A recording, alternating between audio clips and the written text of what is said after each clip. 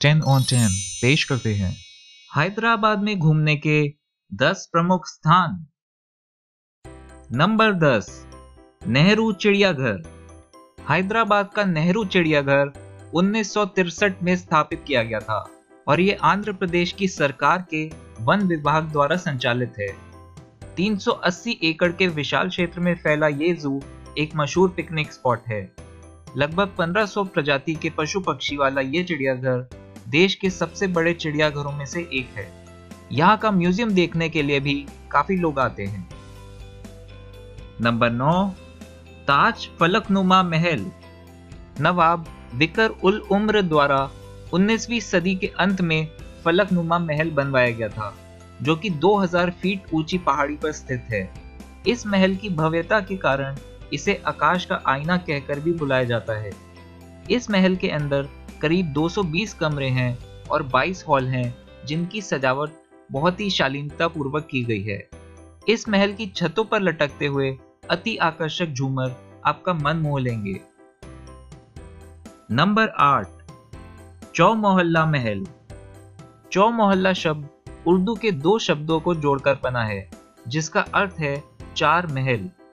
इस महल का निर्माण 1750 में शुरू किया गया था और ये आसफ जही राजवंश और हैदराबाद के निज़ाम की राजगद्दी हुआ करता था।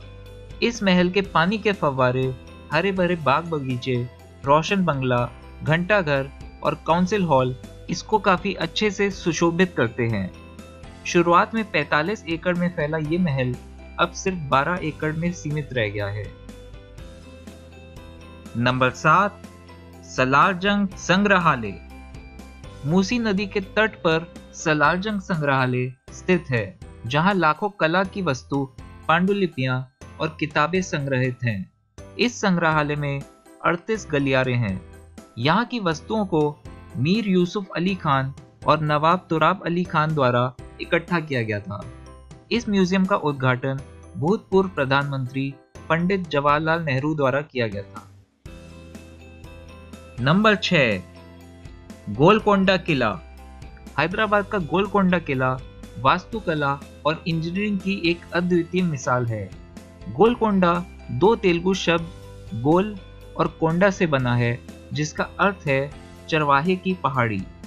इस किले में रात को लाइट और साउंड शो का आयोजन भी होता है, जिसमें इस किले से जुड़े रोचक और ज़रूरी तथ्यों को, दर्शकों को बताया जाता है। इस किले में कुछ ऐसे स्थान मौजूद हैं, जहाँ से एक किलोमीटर दूर की आवाज़ भी साफ़ सुनाई देती है। अगर आपने अभी तक इस भारतीय चैनल को सब्सक्राइब नहीं किया है तो सब्सक्राइब बटन दबाकर इसे सब्सक्राइब करिए और घंटी वाले चिन्ह पर क्लिक करना ना भूलिएगा। ये प्रक्रिया है एकदम निशुल्क और आप देख पाएँगे हमारे वीडियोस सबसे पहले। नंबर पाँच, हुसैन सागर झील। एशिया की सबसे बड़ी कृत्रिम झील कही जाने वाली हुसैन सागर झील हैदराबाद की काफ़ी चहल पहल वाली जगह है। इस झील के आसपास घूमने के कई स्थान मौजूद हैं। इस झील के ठीक मध्य में बुद्ध की एक बड़ी प्रतिमा भी मौजूद है, जो कि एक विराट पत्थर को काटकर बनाई गई है। इस प्रतिमा का उद्घाटन दलाई लामा के कर कमलों द्वारा किया गया था। इस झील को संयुक्त राष्ट्र द्वारा विश्व के दिल खिताब से नवाजा गया है। नंबर चार, बालाजी मंदिर। हैदराबाद से 30 किलोमीटर दूर एक छोटे और प्यारे गाँव चिलकुर में मौजूद है बालाजी मंदिर, जो एक मशहूर धार्मिक स्थल है। ये मंदिर ओस्मान सागर झील के किनारे बना हुआ है और इसका निर्माण करीब 500 साल पहले किया गया था। ये मंदिर अमेरिका जाने की चाह रखने वालों में खासा लोकप्रिय है, क्योंकि कहते हैं, जिनका वीज़ा ठुकराया जाता है, उनके यहाँ आने के बाद वीज़ा आवेदन कबूल हो जाते हैं। जिस कारण से इस मंदिर का नाम वीज़ा मंदिर भी पड़ गया है। नंबर तीन, बिरला मंदिर। काला पहाड़ नामक पहाड़ी पर बना हुआ बिरला मंदिर 2000 टन के सफ़ेद संगमरमर से बनकर तैयार किया गया है, जो खास तौर पर राजस्थान से लाए गए थे।